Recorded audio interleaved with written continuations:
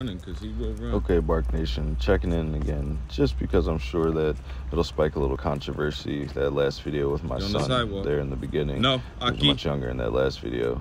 But dogs and children, should they be together? Especially aggressive dogs, which the first two dogs you saw there are actually behavior modifications, both uh, the pit bull and the white bulldog there. This small Boston Terriers, he's a frequent flyer. He's one of my son's favorites.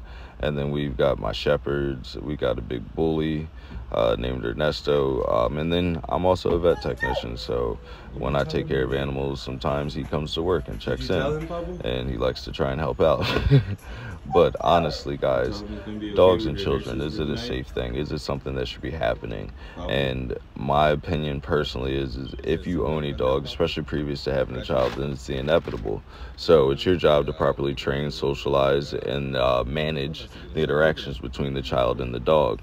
And you have to really have a, a trust with uh, certain dogs, and you have to know that they've already had that exposure or pressure. You cannot expect to just throw a brand new baby at a brand a dog who's never seen a baby, I should say, and have a perfect reaction. There are going to be some slight struggles, but again, properly socialized dogs, dogs who know how to play, dogs who know how to um, you know not be possessive because items are often outside of redirected energy but we'll talk about that in a second but items items are often the reason that conflict happened between uh, children and dogs so i don't care if it's you know the two or three year old walking around with a chicken nugget uh, something dropped on the floor um, one of the toys that they thought was theirs is really the kids vice versa nonetheless items are a big reason why I've seen bites play out with dogs and children. Other than that, it is definitely redirected energy.